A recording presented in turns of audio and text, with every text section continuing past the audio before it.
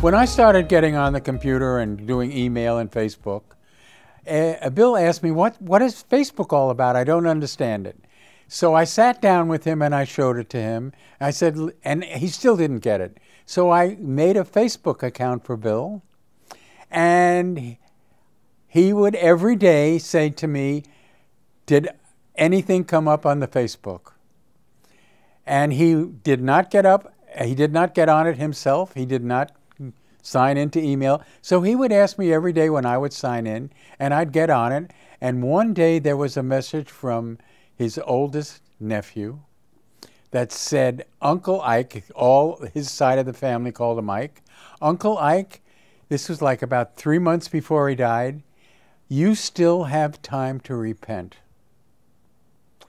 When I, I saw that and I read it to Bill, I thought to myself, I've got to answer this, you son of a bitch, is what I said to myself. And Bill said, Go ahead, write whatever you think. I wrote a response to that and I showed it to Bill and he read it and he said, Perfect, but don't send it. And I said, Why not?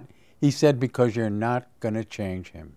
One month after Bill died, I got a letter or a note or a phone call or some kind of indication from everybody in the family on both sides of our family, except for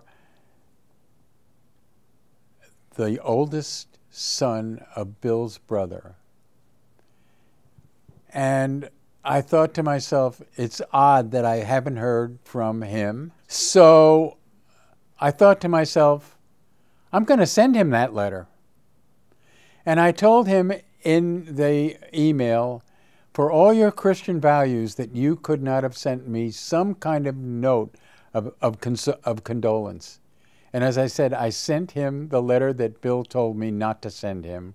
And I heard back from him, and I got a recorded video from a, another evangelical pastor that he knew about the evils of homosexuality. I was so upset by that that I told his nephew Never send me another thing again because it will go directly into junk mail.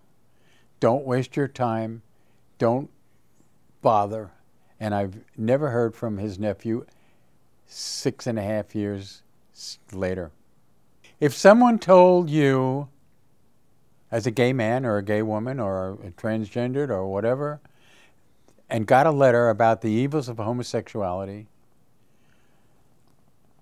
my reaction would be respond to it, tell them why you think they're wrong, but don't spend a lot of time trying to convince them that they should change what they think about a gay relationship.